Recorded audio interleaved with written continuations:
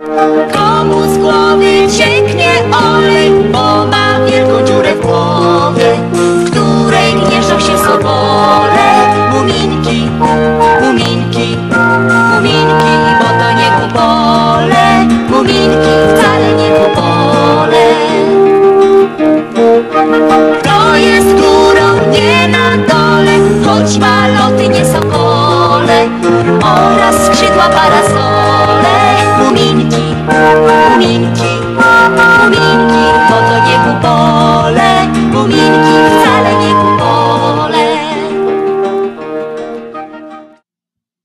Radio Sylwia, feministyczny głos w Twoim domu. Nadajemy raz w tygodniu na kanale YouTube oraz platformach Spotify, Breaker, Google Podcasts, Pocket Casts, Radio Public i Anchor. Dziesiąty odcinek podcastu, który powstał zupełnie niechcący i przypadkowo. No tak, jestem z tego dumna. E, Jeżeli ktoś nas słucha i chciałby, chciałaby e, wesprzeć finansowo całą tę sytuację, to będę bardzo wdzięczna. E, A póki co, już tytuł zdradza, że przenosimy się dzisiaj do Finlandii, gdzie mieszkają wspaniałe trole, nazywane muminkami. E, Będzie więc dziś i o tych e, wspaniałych postaciach. Wszystkie osoby, które mnie chociaż trochę znają, wiedzą, że kocham muminki e, i uwielbiam skandynawską literaturę dla dzieci, Mm, e, ale bardzo lubię również e, autorkę muminków i ich mamę, e, czyli Tywę Jansson. E, Jeśli zastanawiacie się, dlaczego w feministycznym radiu będę mówiła o e, książkach teoretycznie skierowanych e, do dzieci, e, to no, wystarczy kilka wątków e, i fragmentów e, z biografii e, autorki, abyście domyślili się i domyśliły, dlaczego akurat i Muminki, i Tywę e, goszczą w radiu Sylwia. Ale po kolei. Mamy lato, a jeśli lato, to lato muminków. Od, bo ja wiem, ponad 20 lat moim ulubionym słuchowiskiem y, jest właśnie Lato Muminków, które poznałam jeszcze we wczesnym liceum, kiedy razem z koleżankami e, zasłuchiwałyśmy się różnymi starymi słuchowiskami. E, I lato e, powstało e, pod koniec lat 70. Zaczęło się od tekstu zaadaptowanego na potrzebę teatru dramatycznego w Wałbrzychu. I scenariusz napisał Andrzej Marczewski, a Bogdan Chorążuk opracował teksty piosenek, które są bardzo ważne w tym słuchowisku. Okazało się, że przedstawienie w teatrze to wielki hit. E, Było potem wystawiane na deskach e, e, innych teatrów w całej Polsce i właśnie dla na potrzeby e, tego spektaklu nagrany został podkład muzyczny, e, a potem wykorzystany jako no właśnie baśń i, e, e, i fonograficzna podkładka do niej. Mm, Na początku e, 78 roku nagrywane były podkłady i muzyczne, i właśnie na nowo fragmenty książki Tove Jansson. W narratora wcielił się Gustaw Holubek. No a jest tam po prostu mnóstwo wspaniałych e, aktorów i aktorek, od Zygmunta Kęstowicza, przez Mieczysława Czechowicza, przez Ewę Kanie, Jerzego Bończaka, Zofię Rysiównę e, i nawet Danutę Szaflarską. Mm, No i oczywiście wspaniałe, jak już mówiłam wcześniej, piosenki, do których muzykę napisał Tadeusz Woźniak, e, a śpiewała je m.in. Krystyna Prońko, zespół Andrzej Jeliza, e, no i właśnie wcześniej wspomniany Tadeusz Woźniak, który podobno oprócz płyty Zegar Światła, to, to właśnie największym jego sukcesem e, artystycznym jest płyta Lato Muminków, no proszę. E, Natomiast e, oczywiście lata by nie było, gdyby nie cała seria e, muminkowa, na którą składa się e, dziewięć części. Lato dotyczy nagłej wizyty w teatrze e, opuszczonym, gdzie muminki wystawiają sztukę teatralną i gdzie poznają tajniki właśnie dramatopisania. Moją i drugą, tak naprawdę ulubioną książką z serii muminkowej jest Kometa nad Doliną Muminków, y, y, która w polskim tłumaczeniu ukazała się y, pod koniec lat 70. i za to tłumaczenie odpowiedzialna była Teresa Chłapowska, która większość tych książek przetłumaczyła, ale akurat Lato Muminków wyszło w tłumaczeniu Ireny Szuch-Wyszomirskiej i zresztą to ono stanowi podstawę E, słuchowiska. O matko, już nie chcę mówić tych szczegółów, widzicie? To jest tak, jak ja zaczynam mówić o po prostu muminkach i tym, co się wokół nich dzieje. To jest jakiś koszmar. Przepraszam Was za to. Już wracam do tematu, e, a to do tematu, e, no właśnie, komety. I dlatego chciałabym teraz wytłumaczyć się, czemu akurat ta książka robi nadal na mnie niebywałe wrażenie. Kiedy ognisty ogon komety dosięgnie naszej planety, to już nic nie pomoże biednym trollom.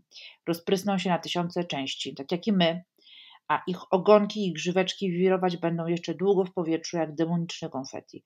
Uciekajcie więc, muminku, ryjku i mała mi, wprost do wydrążonej w skale jamy.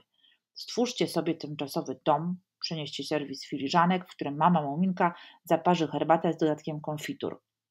Kończy się dotychczasowy świat, ten, który znamy.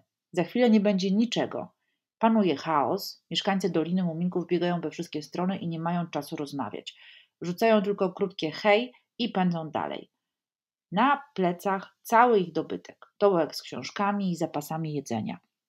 Zupełnie jak na zdjęciach przedstawiających ewakuację miast w czasie II wojny światowej. Koce zwinięte w wielkie kule, a w nich pościel, palto, jakieś skarby chwycone szybką ręką. Dokąd idziecie? Pytamy. Przed siebie. Idziemy byle dalej. Ucieczka przed ostatecznym, w popłochu i drżeniu. W Dolinie Muminków, konkretnie w obserwatorium położonym w górach samotnych, dokładnie obliczono, kiedy płomienna kula zetknie się z ziemią. Zupełnie jak u nas, że co chwilę słyszymy zapowiedzi końca e, świata w bardzo różnych formach. A jakie to wyliczone, jakie przypieczętowane, ostateczne. E, byli już Majowie, mumie egipskie, wróżbita Maciej. E, wszyscy oni przepowiadają zagrożenia i ostateczne porachunki sił natury z przygłupami ziemskimi, co to nie segregują śmieci i globalnie się ocieplają. Do tego to ludzie prowadzi do Armagedonu, nie zdążycie nawet sprawdzić w komputerze, co to znaczy, a to przyjdzie i was zje. W każdym razie u muminków, dzięki precyzyjnym informacjom, można było zaplanować ucieczkę, a właściwie przechowanie. Jak bowiem uciec ze swojej własnej planety, gdzie się przesiedlić, kiedy wiadomo, że za chwilę rąbnie w nas kometa. Związani jesteśmy na zawsze z Ziemią, po której stąpamy. Możemy więc co najwyżej schować się w jej środku przed nią samą. E, to tak jak z globalnym ociepleniem. Nie ma planety B. No i właśnie mieszkańcy doliny, tego mikroświata, zamknęli mocno oczy i mieli nadzieję, że kiedy nadejdzie wielki boom, to zwiną się w kłębek i przeczekają. Prenatalny kształt przywodzący nam myśl bezpieczny czas dryfowania w brzuchu mamy. Tymczasowy dom okazuje się pieczarą o gładkich ścianach wysypaną piaskiem i z wewnętrznymi komorami. Całość wygląda niczym macica, matczyne łono. Idealne miejsce do schowania się i przeczekania. Przed wejściem wisi koc nasączony ognioodpornym płynem, magicznym specyfikiem przyniesionym przez włóczy kija. Dzięki niemu kula i jej rozżarzony warkocz nie spalą na popiół małych żyjątek. Leżą one teraz przytulone do siebie w oczekiwaniu. Tylko mały kotek, nowy kolega Ryjka, pozostał na zewnątrz. Pełni funkcję symbolu nowego świata, budowanego po katastrofie od jego podstaw. No i wreszcie w książce przychodzi trach, błysk, rumor, a potem zapada cisza. Jest ona mocniejsza niż głośne uderzenie, bardziej mroczna, bo wielka niewiadoma utkana z grozy. Stop klatka w nieszczęściu. Wychylają się więc powoli, z jamy, ostrożnie. Widać już coś spod tego kurzu, jakieś zarysy rzeczywistości. Nie wiedzą tylko, czy można wracać do siebie. Jest i ryjek, którego kumpel kot ma trochę zmierzchwioną sierść, ale oprócz tego nigdzie go dalej nie widać. Gdzieś zniknął. No właśnie, to oczekiwanie, to napięcie między tym, że coś trzasnęło i nie będzie już tego, co było do tej pory, jest coś zupełnie nowego, a my kompletnie nie wiemy, co to jest. To jest ten czas yy, po wojnie. To jest przepowiadanie czegoś, co następuje w czasach poczucia braku przyszłości. Strach przed zapowiedzianym nieszczęściem, potem oczekiwanie go, a na końcu wchodzenie w nowe jest redefinicją zastanego porządku. Oto rusztowanie każdej wojennej historii. Tak to właśnie jest. Ale zobaczcie, nie tylko wojennej. Mamy choćby naszą pandemię. Było jakoś, potem przyszła ona, zmieniło to zupełnie. Żeśmy siedzieli w tych domkach, tak jak muminki w jamie, czekali, co tam się stanie. E, a teraz wychylamy głowy i zastanawiamy się, czy nie rąbnie w nas znowu. Czy można wychodzić, czy można zdjąć maseczki. W tym tle są oczywiście lęki, poczucie straty, zachwiana codzienność bez y, porannej gazety i wieczornej herbaty. W książce Muminek woła ponuro: Światu grozi zagłada, pewnie utrata życia, zielonych gałęzi, bezkresnego nieba. W biografii Tywe autorstwa Bell Westin czytamy, że natura pozbawiona życia odbarwia się. I tu cytat: Znika słońce, a księżyc matowieje i robi się bladozielony. Błękit nieba okrywa się czerwienią, a gwiazdy nocą przygasają. No właśnie, ta wizja końca świata, który gubi kolory pod naporem zbliżającej się zagłady, to jest tak naprawdę obraz wojny, kataklizmu, tragedii, które są zawsze czarno-białe. Tracą rumieńce, treść jest bowiem bardziej jaskrawa niż wszystkie barwy.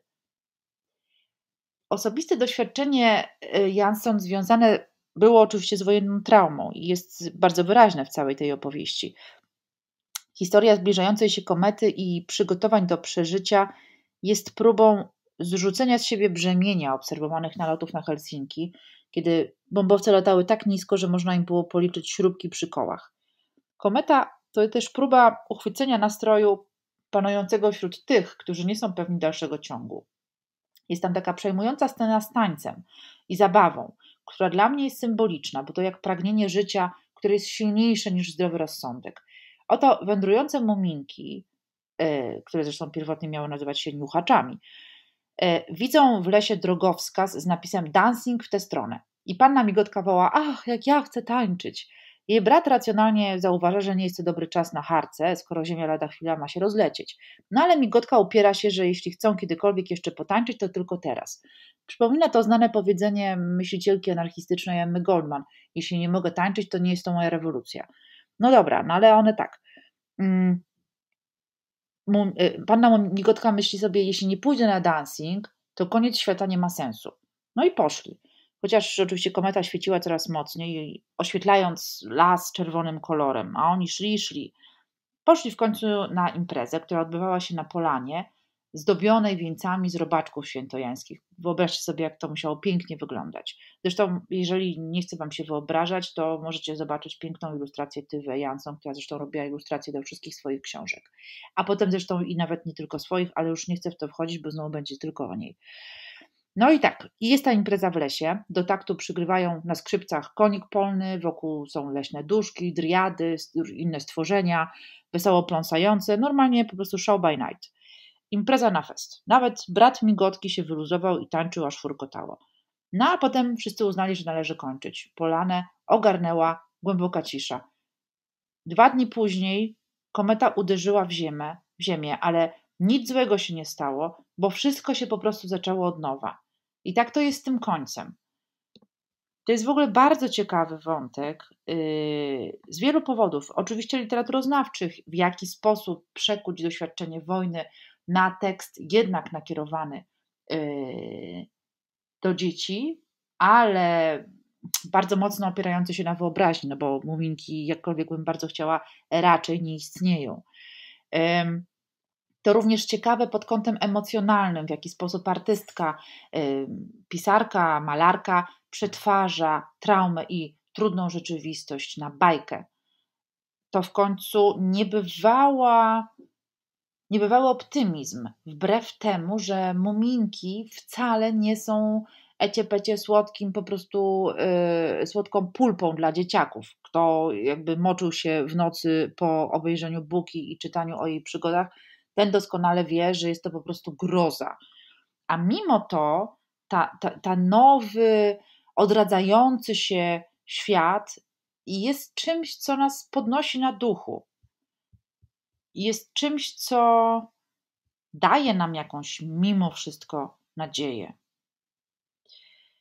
Y, ale oczywiście doświadczenia wojenne w przypadku autorki y, były bardzo ciężkie i choć sama nie ucierpiała w czasie konfliktu zbrojnego, no to, to jednak obserwowanie nalotów sprawiło, że no to mnie odcisnęło piętno na całym jej życiu.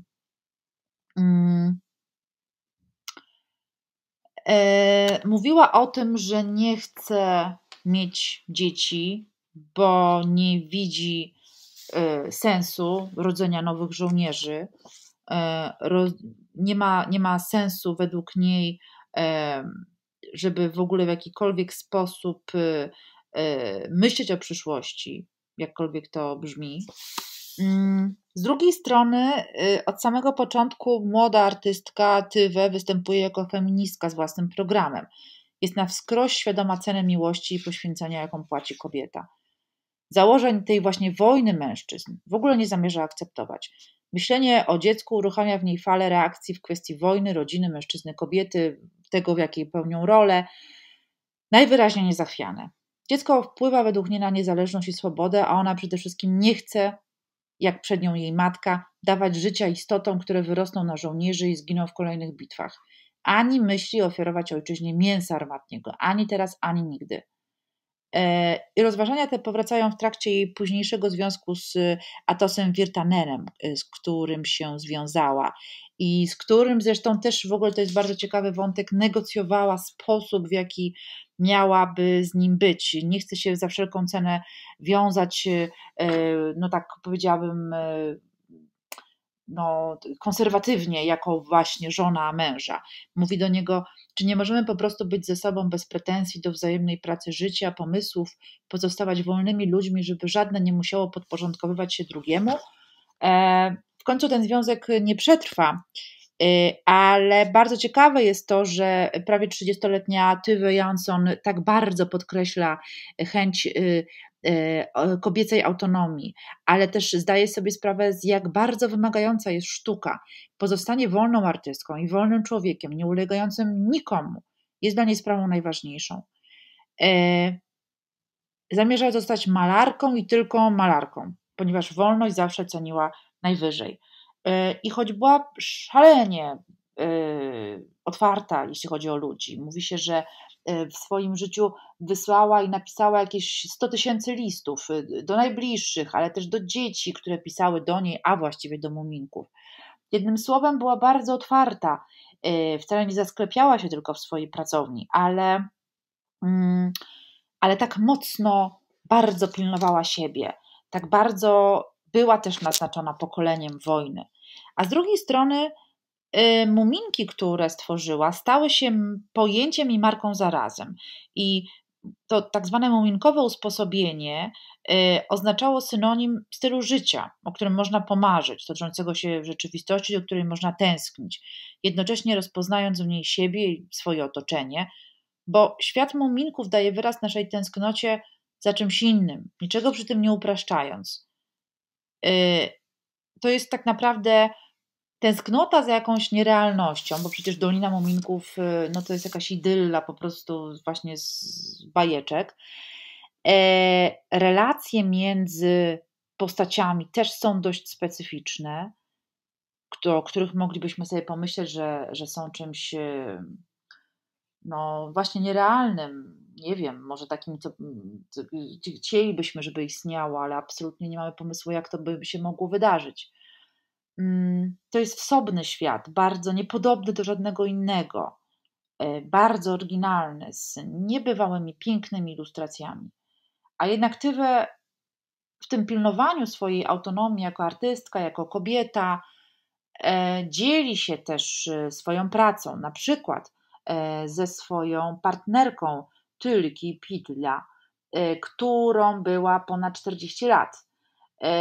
I obie kobiety podróżowały po całym świecie, ale również no, później na swoich barkach niosły piętno muminków, ponieważ w pewnym momencie ta światowa sława, która, która dosięgła Tywę Jansson, właściwie ją przerosła.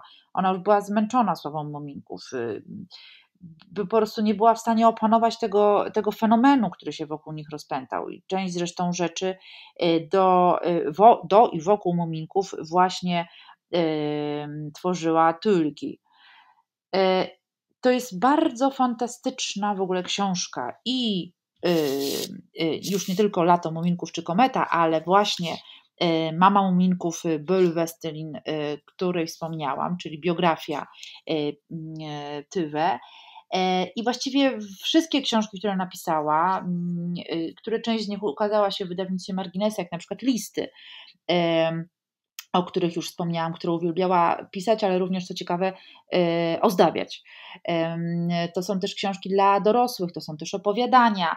E, no i wszystkie książki, które są wokół tych głównej muminków, czyli komiksy, które przez lata rysowała Tywę, Zresztą, jak zobaczycie je, to one w większości są o wiele bardziej, nazwałabym je dorosłe, hmm.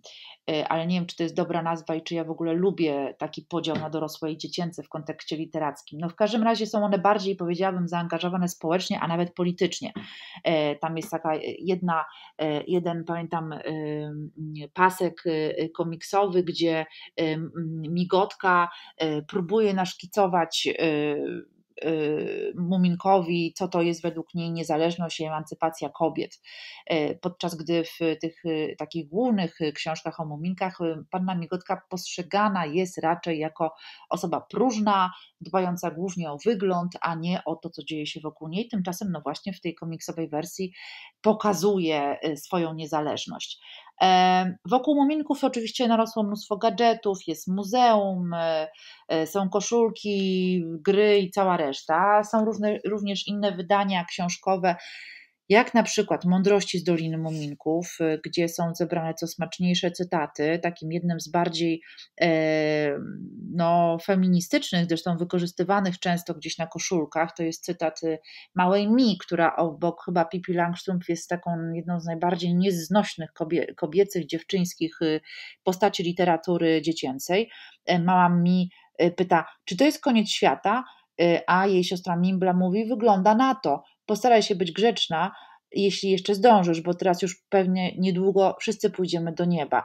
A mała mi mówi: Do nieba? Musimy iść do nieba, a jak się można stamtąd wydostać? E, I to wydostanie się z nieba i bycie niegrzeczną dziewczynką jest y, no, już takim jakby elementem wręcz popkulturowym, popkulturowego feminizmu oczywiście, no ale uf, dobrze, że mm, wywodzącym się y, na przykład z właśnie y, książek o Dolinie Muminków. E, cóż mogłabym powiedzieć na koniec, bo na pewno mogłabym jeszcze długo rozmawiać i o, y, o Tywę, i o jej niebywałej wrażliwości, również jeśli chodzi o, e, no tak jak powiedziałam wcześniej, relacje z, z ludźmi i to, w jaki sposób je podtrzymywała, choćby, choćby E, e, listami, ale też jakąś jej taką empatię e, i, i czułość. W jednym z listów Tywę porównuje swoją ukochaną do drzewa pomarańczowego. Posłuchajcie, chcecie porównać z owym silnym drzewem, z którym tak pięknie żyje się jak w niebie, a każdy owoc, co twą gałąź zdobi, jest jak myśl nowa, pracę w chęć przerobi.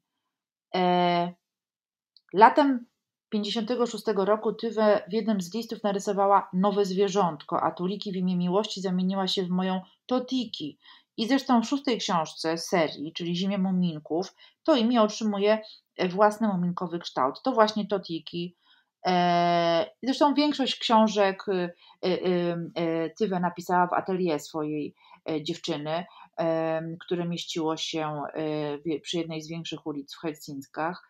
No i żyły razem 45 lat. Y, to jest niebywałe, że w, w takiej jakiejś po prostu histeriozie anty-LGBT, y, rzekomej seksualizacji dzieci, to autorka jednej z najbardziej niebywałych bohaterów i serii książek dla dzieci, Tywe Jansson była biseksualna, albo nie wiem jaka była seksualna, w każdym razie przez 40 parę lat była z inną kobietą. No i co? No i nico. Na pochybel wam po prostu homofobom.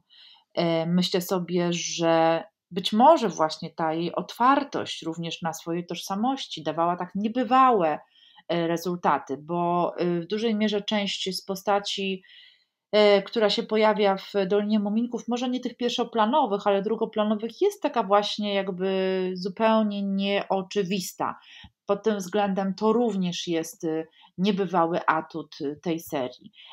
Was zachęcam oczywiście do powracania E, do Doliny Muminków i do książek o nich, odczytywania ich na nowy sposób, tak jak to ma się na przykład z Kometą nad Doliną Muminków, e, odczytywania książek dla dzieci w sposób e, dorosły.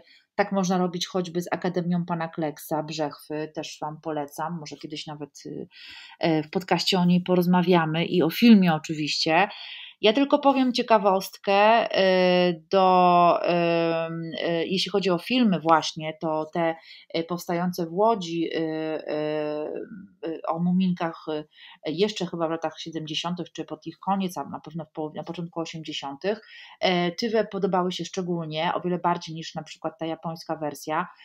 To były niebywałe dla mnie, pamiętam, że robiące na mnie ogromne wrażenie, zresztą do tej pory. Piękne, piękne graficznie, dziwne postaci, bo takie 2D, w, takie trochę nie, niekoniecznie wymiarowe, no ale w takich ciepłych, niepokojących barwach. Tam Buka naprawdę była niczym, no właśnie, wilki z Akademii Pana Kleksa, groza. E, do jednej z tych części e, pełnometrażowej e, muzykę napisała Björk, więc to też jest ciekawe, że do wspaniałej malarki i pisarki Tywe dołączyła cudowna artystka muzyczna, też zresztą ze Skandynawii. A więc widzimy, że wspaniałe kobiety, silne, niezależne, a przy tym szalenie wrażliwe, ale tak artystycznie i na to, co się dzieje wokół, e, że gdzieś tam ze sobą jakby zawsze mają interakcję i to mnie zresztą bardzo cieszy. Dziękuję Wam za dziesiątą część podcastu Radio Sylwia. Mam nadzieję, że zaintrygowałam Was postacią Tuve Jansson i że sięgniecie po jej biografię, ale też po e, te książki, które przygotowała i e, graficznie, i e, literacko. Mm, cóż, do zobaczenia w Dolinie Muminków i do usłyszenia za tydzień. Dziękuję.